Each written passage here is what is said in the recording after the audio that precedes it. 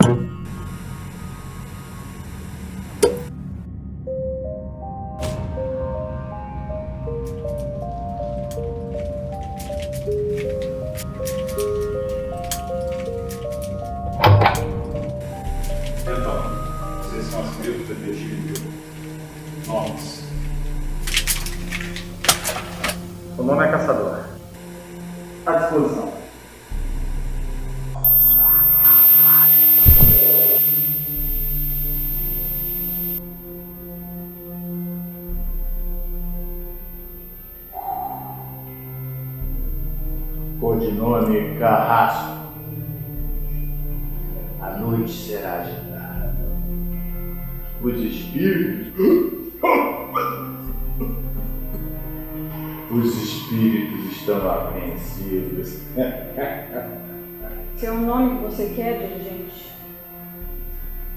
me chamam de Vagalume, líder do esquadrão.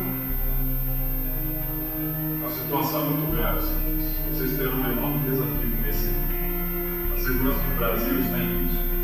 Sei que parece exagero. Vocês têm as ordens de vocês. Executem o criminoso.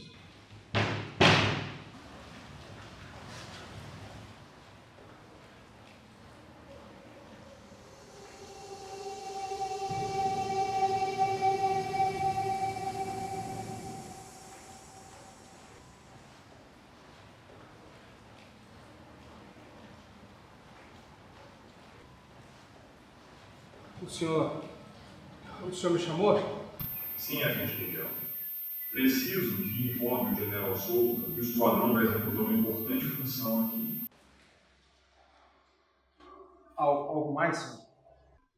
Sim, agente. Pegue umas fitas do QG e um gravador. E quando retornar, vá para o rumo das salas de aula. O prisioneiro agora é de responsabilidade do esquadrão.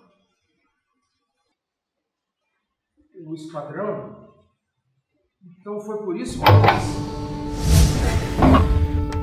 Coetus SDM. Uma sigla que não é traduzida, apenas chamada de o Esquadrão da Morte.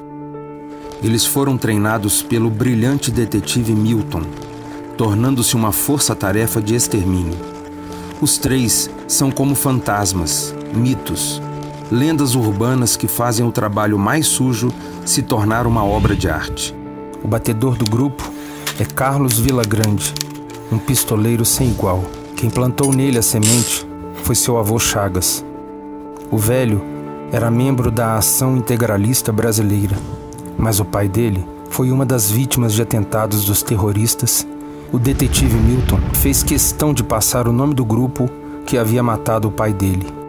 Carlos é o caçador. Seis balas.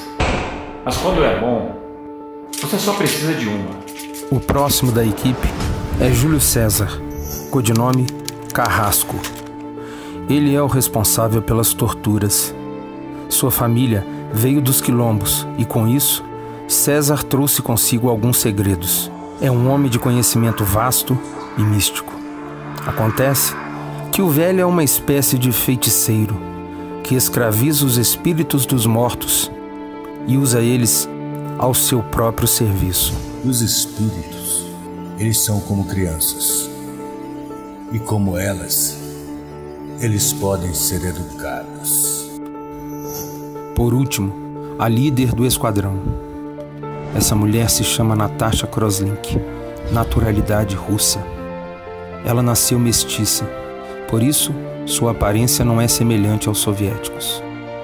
No final da década de 60, Natasha fugiu junto com outros da União Soviética para o mundo capitalista. O Brasil aceitou que ela entrasse no país por um oficial da Marinha Mercante. Ela se tornou então uma espécie de guarda-costas dele. Em um dia de lazer, Ferreira foi surpreendido pelos terroristas.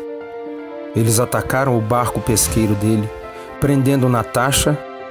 Ferreira foi fuzilado por três dos terroristas, enquanto Natasha observava. Não se sabe muito, mas eu acho que eles se aproveitaram dela também. Mas não dá para confirmar isso.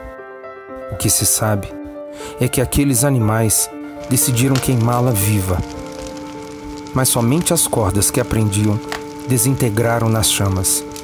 O fogo não deu dano nela. Ele a ungiu. O que sabemos foi relatado pelo sobrevivente. Um cara atordoado, em choque e aterrorizado. Ele disse que a ação da mulher sobre eles foi tão devastadora que só poderia ser considerada sobrenatural. Não demorou muito para ela ganhar um apelido. Natasha morreu naquele dia e renasceu como Vagalume.